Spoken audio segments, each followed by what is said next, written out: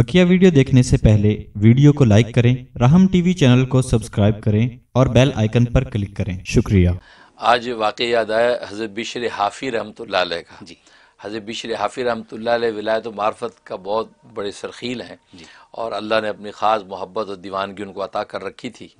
और हाफ़ी इसलिए कहते नंगे पैर रहते थे वो। अच्छा। हाँ नंगे पाँव रहते रहते थे वो जूता नहीं पहनते थे। तो हुआ यह कि जब विलायत मार्फत के मैदान में नहीं थे तो मनचली ज़िंदगी गुजारते थे। तो ये अपने घर के अंदर मौजूद थे रक्स सरूद की महफिल लगी हुई थी शराब का दौर चल रहा था।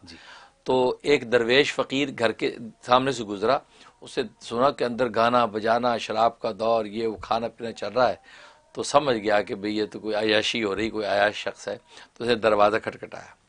दरवाज़ा खटखटाया तो वो लौंडी बार है खादिमा। जी। तो वो पूछने लगा दरवेश कहने लगे इस घर का मालिक जो है वो आज़ाद है या ग़ुलाम है? उसने कहा कि आज़ाद है। ग़ुलाम तो नहीं आज़ाद है। कहता आज़ाद है? ओहो अच्छा आज़ाद है। तभी मनमानी ज़िंदगी गुजार रहा है। अगर ग़ुलाम होता तो आका की मर्ज़ी के मुताबिक गुजारता। अच्छा। ये कहा। और ये कह के जो है वो चला गया। अब जब दरवेश चला गया तो वो लौंडी जब वापस गई तो बिछड़े हाफी ये बात सुन रहे थे गुफ्तगु। उन्होंने बुलाया कहा कि कौन था? कहा जी, ऐसे फ़कीर दरवेश था, दीवाना। तो कहते, क्या कह रहा था? कहते, कह रहे थे कि इस घर का मालिक आज़ाद है या ग़ुलाम है? तो मैंने कहा, आज़ाद है। कहता, ओहो अच्छा आज़ाद है, तभी मनमानी ज़िंदगी गुजार रहा है। ग़ुलाम होता तो आका की मर्ज़ी पर गुजारता। ये बात कही। अब ये बात जब सुनी तो उस बिशरे हाफी के दिल पर चोट लगी। एकदम, कहते, हैं, ये क्या कह गया ये? जल्दी से निकला। दरवाज़ा खोला तो फ़कीर ज़रा दूर चला गया। तो नंगे पाँव ही पीछे दौड़े उसके। दौड़े गए दा के पकड़ लिया। कहा कि हज़रत, आपने क्या कहा था वहाँ मेरे घर पे आके? कहा कि, भाई, मैंने क्या कहना था? कहने नहीं आपने वो लौंडी से क्या बात की थी? कहा कि, वो बस मैंने ये जो कह दिया, वो तुमने सुन ही लिया। कहने नहीं आप अपनी ज़बान से दोबारा दोहराएँ। क्या, दोहरा देता हूँ? कह लगे, मैंने ये पूछा था, वो रक्स सूद की महफिलें और शराब का दौर, ये चीज़ें देख के, मैंने पूछा था कि इस घर का मालिक जो है, आज़ाद है या ग़ुलाम है? तो उस लौंडी ने कहा कि आज़ाद है। मगर वो आज़ाद है, तभी मनमानी ज़िंदगी गुजार रहा है। अगर ग़ुलाम होता तो आका की मर्ज़ी पे गुजारता। मैंने ये बात कही। बस ये सुनना था। वो दरवेश जिस दिल की गहराई से कही थी कि चोट लगी। और ये जनाब एकदम तड़प गए और तड़प के ज़मीन पे गिर गए और बार बार कहने लगे कि ये ये जो है मालिक ग़ुलाम है आज़ाद नहीं है। ये ग़ुलाम है आज़ाद नहीं है। ये ग़ुलाम है आज़ाद नहीं है। आज से मैं तेरे हाथ पे तौबा करता हूँ कि ये मालिक जो है ग़ुलामों वाली ज़िंदगी गुजारेगा आज़ादों वाली ज़िंदगी गुजारेगा। मैं उस आका का ग़ुलाम हूँ उस आका के मंशा पर ज़िंदगी गुजारूँगा। ये कैफियत उनकी होगी और ज़ारो कतार रोने लगे और तड़पने लगे। और हाथ पे तौबा कर ली कि मैं जो है वो ग़ुलाम और आका की मर्ज़ी पे गुजारूँगा। उसके बाद जो है अल्लाह ने उनको जो है तोफ़ी दी। वापस आए, उन्होंने जनाब अपना सर कुछ तोड़ा फोड़ा, सब वो किया और जनाब वो पाकिज की ज़िंदगी गुजारी और ऐसी अल्लाह की इबादत की, ऐसी इबादत की कि नंगे पाँव फिरते थे। तो किसी ने पूछा कि हज़रत, आप नंगे पाँव क्यों फिरते हैं?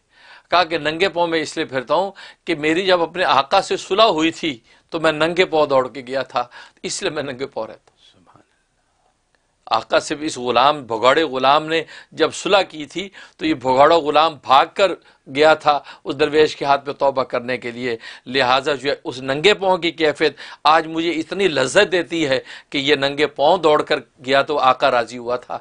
इसलिए मैं हमेशा नंगे पाँव ही रहना चाहता हूँ। और फरमाया कि मुझे अल्लाह ने ऐसी कैफियत दे दी है कि ये ज़मीन अल्लाह का फ़र्श मुझे लगता है ये अल्लाह का फ़र्श है एक अल्लाह का अर्श है ये अल्लाह का फ़र्श है। हम किसी बड़े के घर पे जब जाते हैं जूते उतार देते हैं नंगे पाँव जाते हैं अल्लाह के फ़र्श पे मैं पाँव जूते लेके जाऊँ इसलिए मुझे ये बेदबी लगती है मैं अल्लाह के फ़र्श पे नंगे पाऊँगा कितनी बड़ी बात कितनी बड़ी बात। तो कहता मैं आज के बाद जो ग़ुलाम जो है ये आका की मर्ज़ी में ज़िंदगी गुजारेगा। तो अल्लाह ने उनकी जज्बे की कदर ये की कि बगदाद में जिन राहों पे गुजरते थे, उन राहों पे जानवर पेशाब पखाना नहीं करते थे। परिंदे यहाँ तक बीट नहीं करते थे कि यहाँ से बीच राफी गुजरता है नंगे पाँव। अगर यहाँ पे गंदगी गलाजत हुई, उसके पाँव आलूदा हो जाएँगे, उसने तो मेरी इबादत करनी होती है।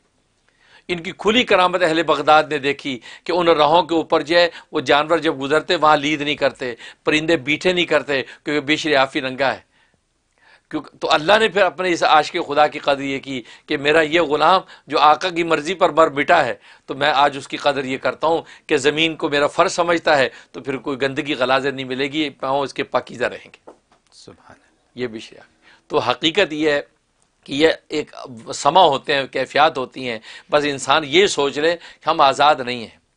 आज बंदा ये सोच रहे फ्रीडम अमेरिका अमेरिका में फ्रीडम जी। सब अब्बा कौन अब्बा थे कौन रब्बा? नहीं। हम आज़ाद नहीं हैं। हम तो हम तो ग़ुलाम हैं। ना मर्ज़ी से आए ना मर्ज़ी से जाएँगे। जो ना मर्ज़ी से दुनिया में आ सके ना मर्ज़ी से दुनिया से जा सके तो वो किस बात का आज़ाद? है? तो लेके आए ना कुछ लेके जाएँगे। लेके जाएँगे। तो आज़ाद किस बात का है? वो सिकंदर आज़म ने कहा था ना कि मेरे हाथ बाहर निकाल देना कफन से। कहा क्यों? कहते इसलिए कि मैं खाली हाथ दिखा के कहूँगा कि जब आया था तो खाली हाथ आया था। दुनिया फतह करने वाला गया तो खाली हाथ जा रहा है। क्योंकि चलती उस आका की, गुलाम की नहीं चलती। लिहाजा नाजरीन, ये सोच लें, हम गुलाम हैं। और हमारा आका वो है रब कायनात है। उस आका ने जो हमारा मंशा ज़िंदगी को गुजार रखा मकसद, उस मकसद को लेकर चलते रहें। बाकी तो झूँगे में हमारे मामला पूरे होते रहेंगे, लेकिन असल मकसद पे नज़र रखेंगे डेस्टिनेशन पे तो दरमियान में जो कुछ होता चला जाए, मंजिल पर नज़र रखेंगे इन रज़ा मिल जाएगी। सुबह ये हकीकत सुबह बहुत बड़ा सबक आमोज आज का ये ये ये जो कहानी थी बहुत सबक आमोज और सच्ची कहानी और ऐसी कहानी माशा सुबह सुबह बहुत